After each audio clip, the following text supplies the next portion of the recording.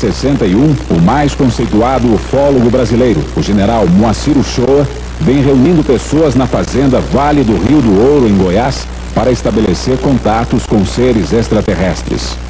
Tenho certeza que existe, não só por experiências outras, que não fato, chega no encontro de uma maneira espetacular, vencendo toda a ciência humana. Você olhava, ele vinha como uma estrela furada que se aproximava. Quando ele chegava em cima sensitivo, a 30 metros de nós, do grupo, aqui em fila, eles faziam uma situação assim, um objeto pequeno, luminoso, parava, descia. E ele, desde que